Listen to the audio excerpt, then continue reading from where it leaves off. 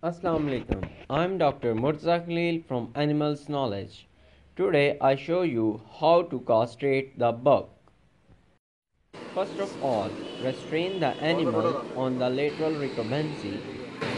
Give the local anesthesia and after separate the spermatic cord, apply the castrator on the single spermatic cord of the testes.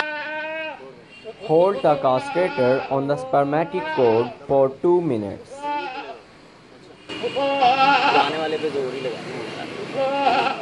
After 2 minutes, open the castrator and again apply on the same spermatic cord below the previous point near to the testes and hold it for 1 minute. It is just for the confirmation that spermatic cord has castrated or not.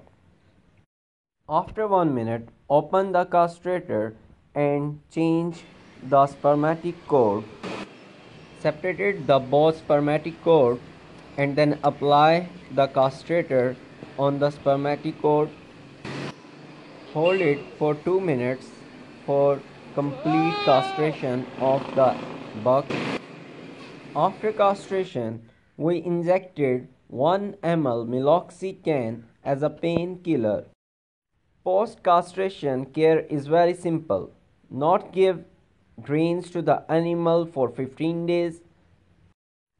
Give dry and comfortable bedding to the animals. Thanks for watching my video. Please like, comment and subscribe my channel's Animals Knowledge. Thank you.